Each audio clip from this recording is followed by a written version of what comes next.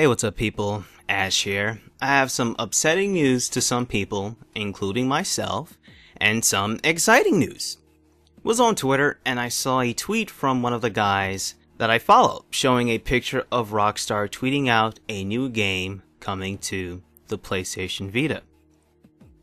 I'm not sure if this is legit, nothing has been confirmed, but as you can see, it looks like Grand Theft Auto, Liberty City Stories, and Vice City Stories are coming. Again, to the PlayStation Vita in a collection style game. But what's strange is that the tweet was taken down. Moving forward, what's the difference? Um, I'm guessing, of course, enhanced graphics, better frame rate, dual analog, which I'm sure you can already do with the PSP Vita versions. I'm I'm happy that Rockstar is giving the Vita a chance, but I, I just can't be optimistic about this particular game. Why? because we already have this game. It came out for the PSP and was ported over digitally to be able to play on the Vita. And I'm sorry, but with all due respect, Rockstar and my subscribers, I just can't see the excitement in this. Enhanced graphics and dual analog just don't do it for me.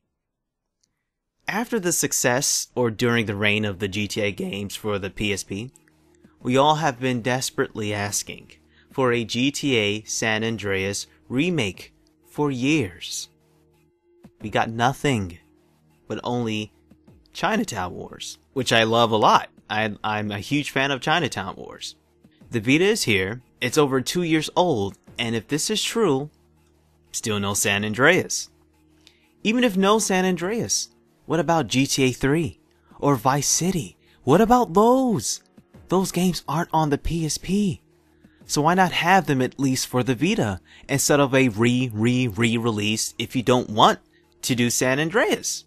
Which is rather silly since the game has been requested for a PlayStation handheld release, people, for 8 to 9 years.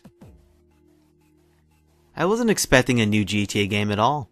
Though it would be nice, but since GTA 5 is here, their main priority, you have patches to work on. DLC, manage the community, and all of that good stuff. So they don't have time for a new GTA game. It only makes sense. But this? It just doesn't make sense. Again, we've been asking for a GTA San Andreas remake for a PlayStation handheld release for 8 to 9 years. Listen to the consumer.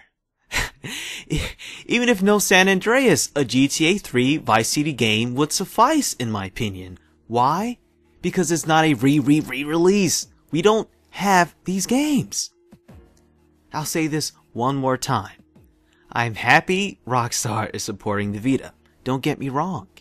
I just believe that San Andreas should have been their main priority for the PS Vita. And if not, GTA 3 and Vice City. Something new and refreshing. That's all. I, I really hope this is fake. What are your thoughts?